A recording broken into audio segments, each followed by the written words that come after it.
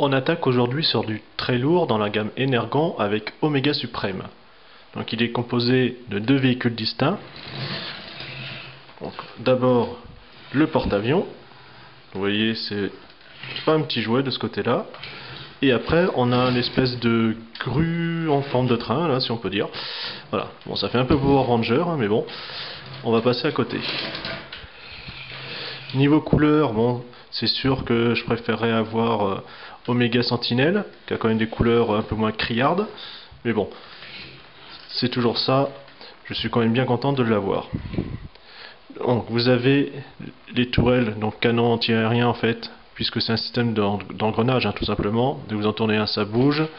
Vous retrouvez toujours le logo, puisque c'est un Energon euh, euh, Autobot au fond d'une petite fosse, comme ça pour pouvoir mettre les étoiles Energon. On pas mal de petits détails. Bon, vous voyez, bon, sur celui-là, j'ai un, un, petit support Minicon qui est, qui est cassé. Bon, c'est un loose, hein. c'est le seul défaut qu'il y a dessus. Derrière, on retrouve un autre canon, par contre lui totalement indépendant. Chose, euh, j'ai oublié de dire, effectivement, vous avez ici pouvoir tirer les missiles. On va à l'avant, toujours de quoi euh, euh, briser les vagues, hein, tout simplement. La proue, il y a pas mal, quand même pas mal de détails de ce côté-là. Hein.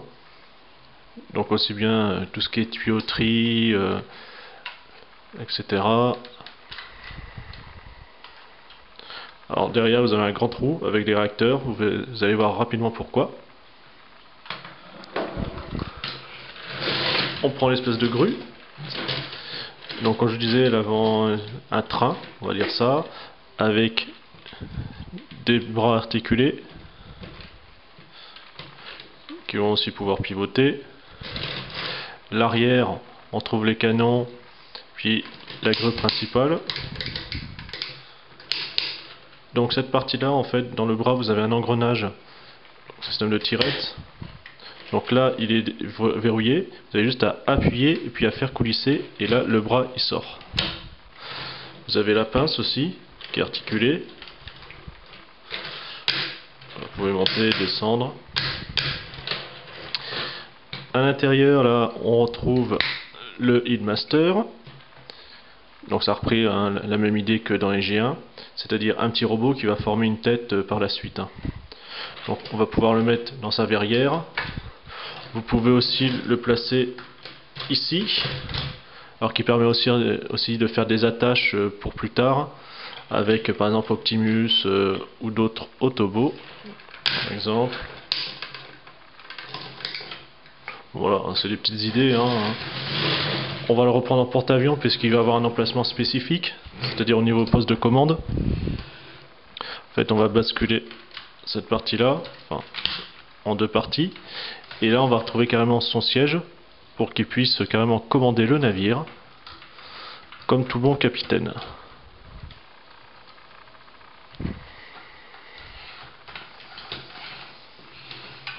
On peut même s'amuser avec ça. Bon, bref. Niveau fusion, puisque comme vous avez vu, vous avez un trou ici, vous allez pouvoir embriquer l'autre véhicule. Donc vous avez un petit clips, un petit ergot qui va permettre de verrouiller comme cela. Et là, ça vous fait quand même quelque chose d'assez monstrueux en termes de longueur. Ça rentre même pas dans la caméra tellement il est grand. On va commencer avec le porte-avions. Alors vous allez lever cette partie-là, puisqu'elle était verrouillée en fait par un clips. On va pouvoir la faire tourner. Juste ici, ça se reverrouille aussi. On tourne le canon pour pas qu'il gêne.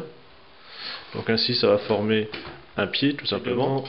Le poste de commandement, vous allez le faire pivoter. Et ainsi, ça va permettre d'assurer correctement la stabilité. Les canons, on va les ranger. Alors on peut aussi le transformer en une, espèce de tour, simplement pour Optimus, pour qu'il puisse en servir comme arme. Pareil pour la grue, mais n'ayant pas Optimus, euh, je passe sous silence. Voilà. Comme cela. On va former en fait euh, le bras, hein, tout simplement. Vous avez ici, donc euh, ça va permettre de former la jambe Donc c'est du gros plastique hein, bien solide, faut pas avoir trop peur, c'est bon. Si j'arrive à le mettre correctement. Et on tourne. Maintenant, puisque le bras est séparé, forcément bah, la petite molette ne fait tourner plus qu'une seule tourelle. Hein. Parce que là, on peut voir ici, voilà, c'est mieux. Donc l'engrenage que je vous parlais tout à l'heure. Concernant la grue, on va replier cette petite partie là. Vous allez avoir l'avant qui va ainsi former le pied. On pivote, on range à nouveau les canons, devant et derrière. Donc là, ce côté-là est déjà prêt. Hein. Vous avez juste en fait à faire pivoter dans le bon sens, pas comme moi. Et ainsi on a la partie gauche tout simplement du robot. Donc toujours avec le bras qui va permettre comme ça de pouvoir l'allonger au besoin. Donc à l'intérieur vous avez ceci qui va servir en fait euh, pour bien positionner la tête après par la suite. Donc on va prendre les deux parties et on va les assembler. Donc un peu partout vous avez des clips. En haut, en bas, etc. Il y a juste à bien les positionner l'un en face de l'autre.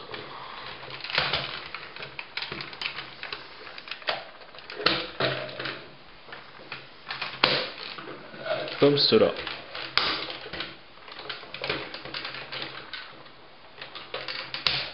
J'avais oublié de positionner cela.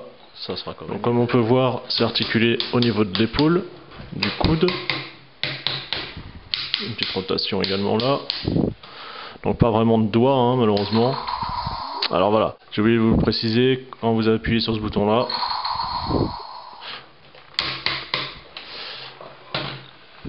ici on retrouve le même fonctionnement.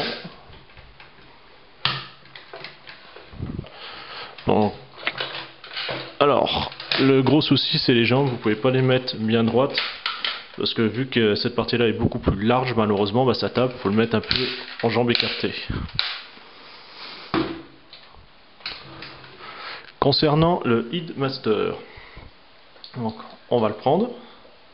Transformation assez basique, hein, ça va pas chercher très loin. Vous repliez les jambes sur son torse tout simplement. Sa tête va servir en fait pour le clipser. Hein. Les bras derrière, enfin sur le côté, pardon. Vous basculez ici. Et comme ça, on a sa tête.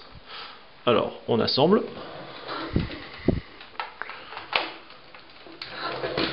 et ainsi Oméga suprême est paré.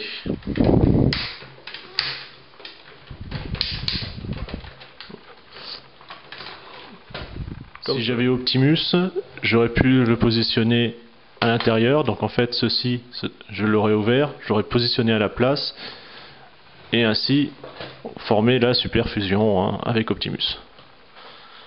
Donc couleur, bon bah, comme je vous l'ai dit, c'est assez flashy. Mais bon, c'est l'énergon hein, après, hein, comme série. Un très grand jouet. Ça, il est vraiment imposant. Costaud. On sent vraiment que le plastique, euh, il n'a pas grand chose à craindre. Pas mal de petits détails quand même, hein, malgré la taille. Bon, c'est sûr, c'est pas euh, les détails d'un Primus, mais bon, c'est quand même pas mal. Si et là, il y a quand même pas mal de petites choses. Vous pouvez voir. Non, franchement, une belle pièce, imposante, et qui fait vraiment plaisir à voir euh, sur ces étagères. Voilà, donc à la prochaine fois, salut